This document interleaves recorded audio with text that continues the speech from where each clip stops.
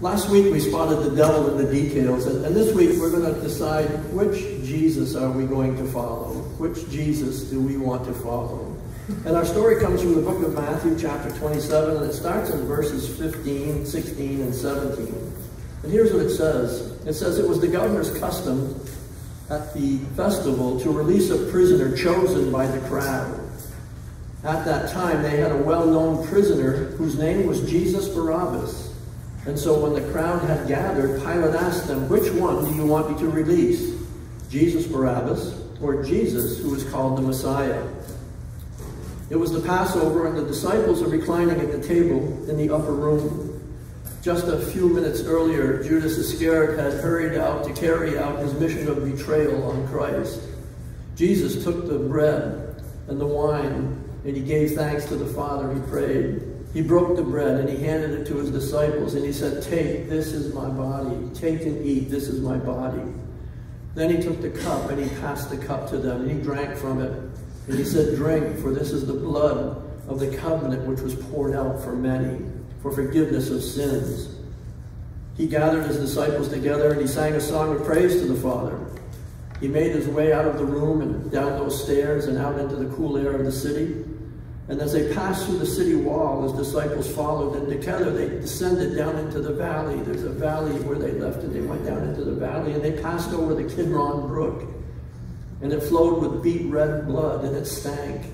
There have been thousands, literally thousands, of sacrifices that have taken place over the last couple of days in, prepar in preparation for the Passover meal sheep and goats and pigeons and other animals were sacrificed, and as they were sacrificed, their blood was channeled down through pipes and under the city and out of the city gate and down into that brook.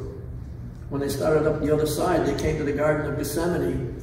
And the Garden of Gethsemane wasn't like we think a garden is today. It didn't have a bunch of fancy flowers and beautiful bushes all trimmed and hedged. It was basically an olive garden. It was basically a, a garden full of olive trees. It was an orchard.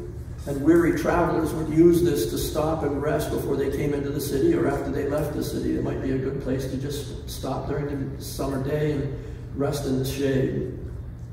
Jesus entered that garden that evening and he entered to a large tree. He pointed at it and he said, Sit here while I pray. But before Peter, James, and John could sit, he said, You follow me. He said, For my soul is grieved to the point of death. Please follow me. He came to another tree and he pointed to the tree and he said, keep watch with me here. He, they sat down. He continued on a bit further. He then he fell to the ground and he started praying to the Father. He said, if it's possible, please let this cup pass from me. If it's possible, Lord, but not my will be done, your will be done. And he remained on the ground for a while, and then he got up and he returned to the three apostles. And when he did, he found them asleep said, You men cannot keep watch with me for just one hour. He said, Keep praying and keep watch so that you may not enter into temptation because the spirit is willing, but the flesh is weak. He walked away again, knelt down and began to pray. Blood began to flow from his brow. Three times he prayed that night. Then he stood and returned to the disciples. Are you sleeping? He said. Behold, the hour is at hand. The Son of Man is going to be betrayed into the hands of sinners. Arise and be going, the one who betrays me is here. And while he was giving this warning, a large crowd carrying swords and clubs began to gather around him and hem him in. They had been sent by the chief priests to arrest him. Judas, the traitor, was with him, and immediately he went to Jesus and embraced him. Jesus said, friend. He called him friend, giving him one last chance. Friend, do what you have come to do. And Judas kissed him. He betrayed Jesus with a kiss. The mob, seeing this sign, immediately began to surround him and close in on him. And Simon Peter drew his sword and he reached out and he cut the right ear off of the guard named Malchus, a servant of the high priest. Malchus fell to his knees. Blood was pouring through his fingers as he held on to the place where his ear had once been. Time stood still and no one spoke, no one moved. Put away your sword, Jesus said. For all who take up the sword will die by the sword. Do you not think that if I call to my Father and appeal, 12 legions of angels will appear and assist me? 12 legions, 6,000 angels per legion. and 600 of them on horseback. 72,000 angels were there that evening, and 6,000 of them were in full regalia on war horses. At his disposal that night, the mob surrounded him, but he was surrounded by heavenly angels that would have destroyed them in the blink of an eye had Jesus wanted. Instead, he simply hung his head and said, But how then will the scriptures be fulfilled? It must happen this way. And as he was saying this, he bent down and he removed Malchus's hand from the hole that was in the side of his head. And when he touched him, his ear was completely restored, completely healed.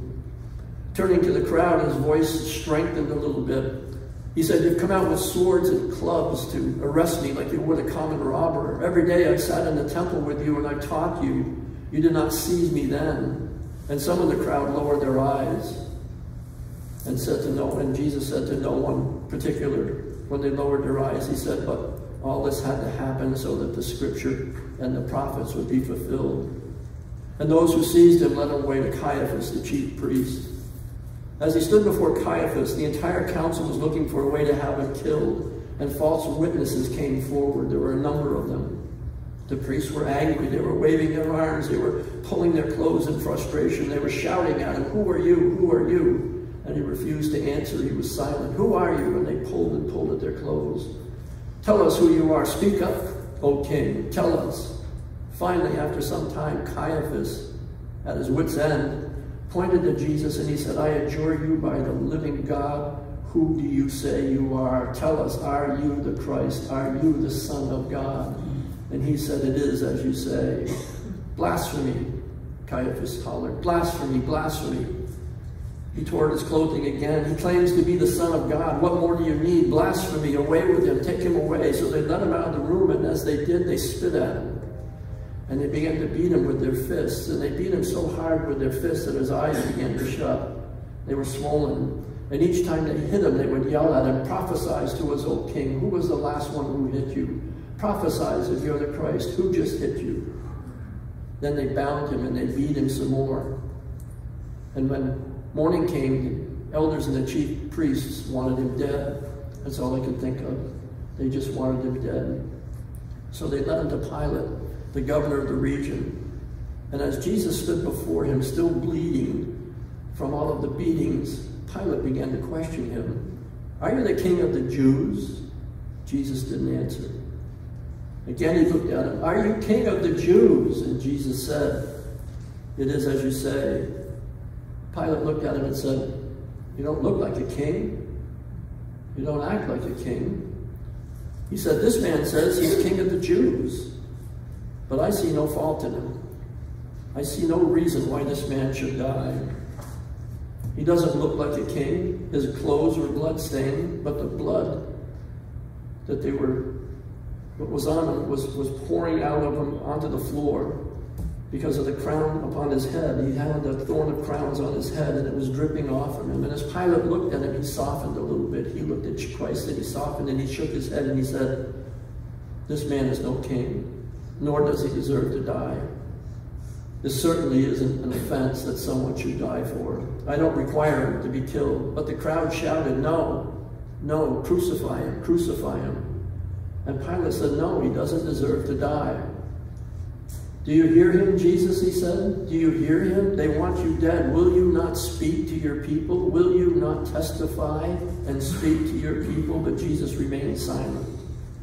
Let's look at that scripture again. Matthew 27, verse 15. It was the governor's custom at the festival to release a prisoner chosen by the crowd. At that time, they had a well-known prisoner whose name was Jesus Barabbas. So when the crowd had gathered, Pilate asked them, Which one do you want me to release to you, Jesus Barabbas or Jesus who is called the Messiah? This has always intrigued me, this part of the Bible. How did we get here?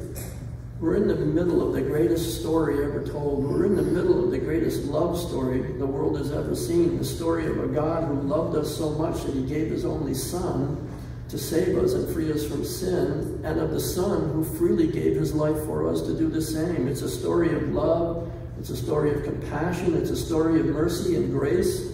It's a beautiful story, and smack dab in the middle of it we've got this criminal. The whole story stops. It's like we hit a speed bump, and the story just comes to a drastic end right here. It stops.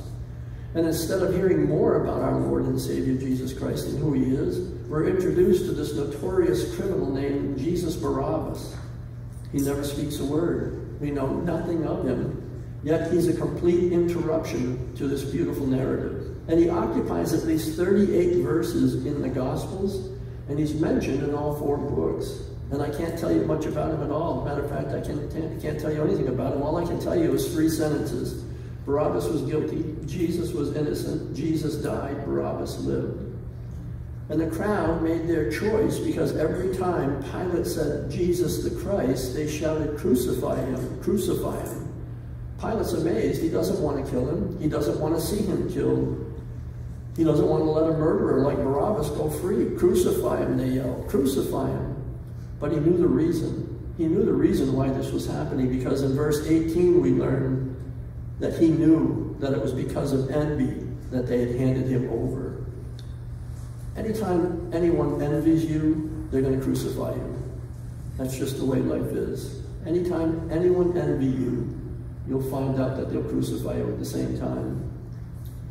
Plus, Caiaphas wasn't a fool. He knew what the Jewish leaders were doing, and he knew how much money they were making off the people and what the living and the lifestyle that they had. But verse 27 says, while he was sitting on the judgment seat, his wife sent him a message saying, See to it you have nothing to do with that righteous man. For last night I suffered greatly in a dream because of him. Her name was Claudia Procula, daughter of Augustus, who married Pilate. History tells us that by now she had already changed, or uh, she'd already converted, I should say, to Judaism. And we will learn through history, too, that after this event, she converted to Christianity and became a strong, strong Christian lady. Verse 20 says, But the chief priests and the elders persuaded the crowds to ask for Barabbas and to put Jesus to death. And the governor said to them, Which of the two do you want me to release to you? And they said, Barabbas. And Pilate said to them, Then what shall I do with Jesus, who is called Christ? Notice how he designates each man. What shall I do with Jesus who is called Christ? They said, Crucify him, crucify him. But he said, Why? What evil has he done? Yet they kept shouting all the more, Crucify him, crucify him. Pilate is very, very careful to identify each of the characters, Jesus Barabbas and Jesus the Christ. That's because their names are almost identical. Yeshua means Savior, so Barabbas is called a Savior. Is he? Hardly. He's not a Savior. He's a notorious criminal and a murderer. But who knows, maybe in his mother's eyes, he was a savior to her, and so she named him Jesus. She decides to call him Yahshua. And so it's strange that he holds the same name as Jesus, isn't it? This man who comes out of nowhere, but yet it gets even better because when you understand the word Barabbas, you'll understand that it means son of the Father. Bar means son, like Bar Jonah, son of Jonah, and Rabbas means father. So if you were to translate his name, if you were to translate uh, Jesus Barabbas' name, it would say, Jesus, Son of the Father. Notice how Pilate calls Jesus Son of God or Son of Christ. And I don't think that's a coincidence that we have Jesus, Savior, and Son of the Father standing up there because it's a choice. Who was the crowd going to choose? Jesus, the Son of the Father, the Son of the world, or Jesus the Christ, the Son of God. And that's why I think Pilate is so careful in telling us who he is. There are three players in this story, Jesus and Barabbas and Pilate. In the eyes of the world, Christ will never be a hero. So we know right now how the story is going to end. The Jews rejected him. They crucified him that day. But they weren't alone. There were a lot of other people in that crowd as well. It wasn't just the Jews. There were tradesmen and merchants, there were Gentiles, there were Romans, there were people from all over the world in that crowd. So the Jews didn't just decide wrong, the world decided wrong on that day. All of the people who were there chose Jesus the Father instead of Jesus, the Son of God. Crucify him, they said, crucify him. In verse 24, now when Pilate saw that he was accomplishing nothing, But rather, rather than a riot was starting, he took water and washed his hands in front of the crowd, saying, I am innocent of this man's blood. You yourselves shall see. Pilate was in a bit of a pickle. When he first came to Jerusalem as their as a as a governor, the first thing he did was march into the temple with shields and pikes with eagles on it. And when he stood in the temple with them, the Jews thought it was a blasphemy because there were false gods inside the temple and they revolted. And Pilate got in trouble with the Romans for it. And he had gotten in trouble on another time and another time. There's two or three different stories. And this was the fourth time. And after the first three, the Roman government said, if you mess up one more time and we see one more riot, you're fired. And this would have been the fourth riot. And so it says that he washed his hands. He said, I want nothing to do with this. I just wash my hands of it. In the Old Testament, when a priest came across the body on the road, he was asked to stop and find water. He was asked to wash his hands. And then he would say, he would say, our hands did not shed this blood, and our eyes did not see this blood shed. You'll find that in Deuteronomy. And that way he said, we are washing our hands of this blood. This blood is not on us. He was specifically telling them, he was specifically taking a, a, a law out of their own Bible but look at verse 27. All the people replied, His blood shall be on us and on our children. Wow, was it ever? You know the story, right? In 70 AD, they lost their temple. It was totally destroyed. They lost their homes. The people were deported. They were slaves. They were driven from their homeland. The Roman army ravaged the area in 70 AD, and the Jews did not return to their homeland until 1948. That's how much blood was shed, and that was the price that had to be paid. For 1,878 years, they paid dearly for the blood that Christ shed that day. Much the same fate that Pilate had too. He too had a choice. He could have chosen the right Jesus. He could have chosen Jesus the Christ, the Son of God. But he caved into the mob mentality. He caved into the world and he said no. He pleaded with the people to choose Jesus, but in the end, he just turned Jesus over. He should be pitied in a, to a sense because he did believe Jesus innocent, and yet he stole, he, he uh, chose the world instead. What about Barabbas? Let's look at him for just a minute. He was close by. He wasn't very far. He was in, in that room or in that area. You could hear bits and pieces he couldn't hear all of the words spoken, but he could hear the commotion that was going on. Maybe he heard Jesus and then crucify and crucify, and maybe he heard Barabbas and crucify and crucify. Who knows? But I know he was probably terrified. Yesterday he was found guilty of a crime, and today he would be crucified uh, by the cruelest form of torture a man knew, anyone knew. I imagine that night for him has fled by pretty quickly. The sun came up pretty early that morning. The guard's boots probably made a sound on the floor as they walked toward his cell. Barabbas was a dead man.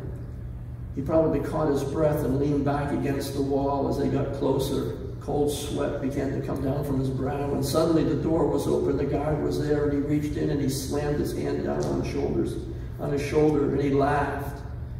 He said, Barabbas, you old fox, you, the gods have been good to you. Zeus has been good to you this day. Zeus has won. You've cheated death. You're going to be released. You're going to be set free.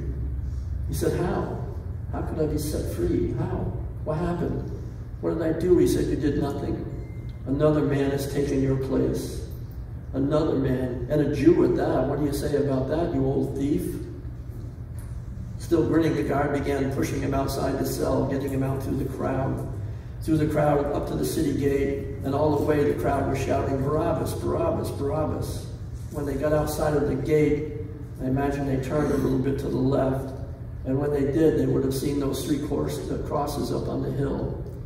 And I suspect that God probably pointed at them and said, My men put those crosses up yesterday.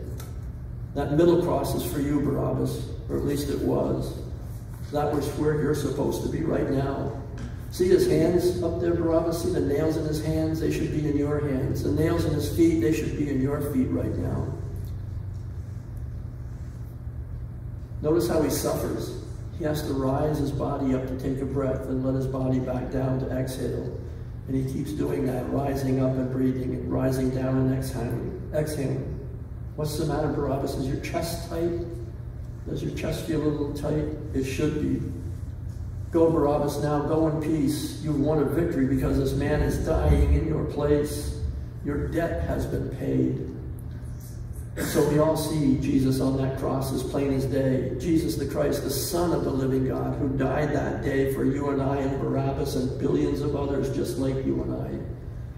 We never hear another word about Barabbas at all. He doesn't show up again in the Bible. He doesn't show up in any writings. But here's what I think maybe, I hope, let's say, happened. I see Barabbas looking up on that hill and seeing that cross and noticing what's going on, seeing Jesus and his suffering. He sees the guard walk away from him, and he starts to walk away, turns his head. He lingers a while, turns his head, and starts to walk away. But I can't help but wonder, perhaps he turned around and looked at that cross just one more time. Wouldn't that be something? Perhaps he turned around and looked at that cross just one more time and looked at that man who was dying up there for him, the man who was giving his life so that he could walk out of that jail scot-free. Did he glance back at the hill one more time? I don't know. I'd like to think he did. Because Jesus did the same thing for you and me. That's exactly what he did for you and me. And we should stop every now and then and glance up at that cross and see. And so the choice we have today is choosing the right Jesus. That's the lesson. Barabbas is you and I. Barabbas is every person in the world. That's all there is to the lesson. And the lesson is that Jesus Christ died on that cross for you and I. But you have to choose the right Jesus. There are a lot of Jesuses out there in the world that you can follow. There are a lot of people out there that are good people and nice people and they're wonderful people and good friends, but they're not Jesus Christ and they'll lead you down the wrong path. Someday we'll know what Barabbas made for his decision.